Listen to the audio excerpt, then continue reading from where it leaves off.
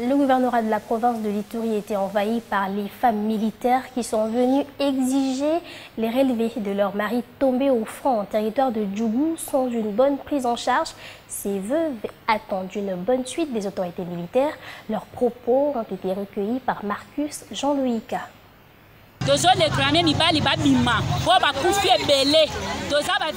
Nous demandons à ce que l'État procède à la relève de nos maris militaires au front depuis 20 ans maintenant.